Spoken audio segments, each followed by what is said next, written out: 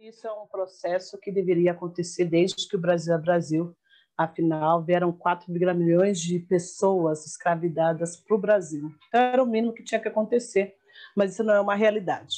Né? E quando a gente pensa em tendência, tem três, três tendências aí que são muito fortes. Primeiro, a de talentos. Segundo, a e terceiro, mercado. Quando a gente pensa que para que eu possa para que eu possa vender mais, eu preciso conhecer o público e minimamente ele precisa estar representado dentro da minha companhia. Eu estou dizendo que eu vou ter que trazer mais negros, mais mulheres, mais LGBTQIs, mais PCDs, por exemplo. Se nós somos 56% da população e não estamos representados em nenhum lugar, Logo, essa mudança também de compra e venda, ela também vai acontecer. Então, eu me lembro que, dois, que há 20 anos atrás, não vou contar a minha idade, não adianta perguntar, eu fiz tecnologia da informação, né? fiz sistema da informação, eu era a única mulher preta entre 60 pessoas e mais duas mulheres. Quando a gente olha para hoje, isso não mudou muito. E isso é um grande desafio, porque nós temos aí até 2024 680 mil vagas de tecnologia que não vai ter quem possa acessar essas vagas.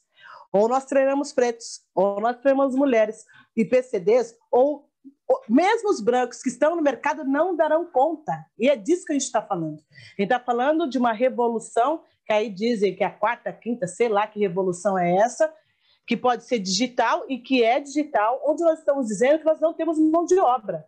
E quando a gente pensa que até 2025, no mínimo 80 profissões não existirão mais, nós estamos falando da população preta que está no operacional e que vai ficar desempregada. Então, ou a gente reorganiza aonde a gente vai investir o nosso dinheiro para que possamos capacitar a população para que elas consigam estar no mercado digital, ou em pouco tempo, como já acontece há 21 anos, a gente troca de empresa, eu trocava de empresa assim, olhava para mim, me oferecia assim, cama, eu estava indo embora.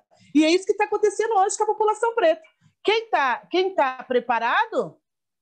Ah, mil reais, tá bom, ai, vamos, vamos com milzinho. Dois mil, nossa, muito melhor. Então, quer dizer, nós estamos falando de perder talentos durante o processo e que a gente vai sair para ir para outras empresas por mil, dois mil, três mil.